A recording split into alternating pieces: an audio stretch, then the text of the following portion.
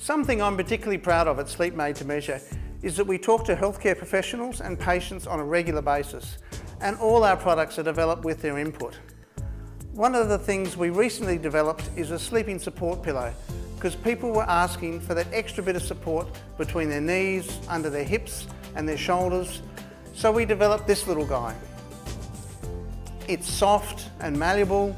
You can mould it to any size or any shape to get the support you like so you can get that extra bit of support when sleeping.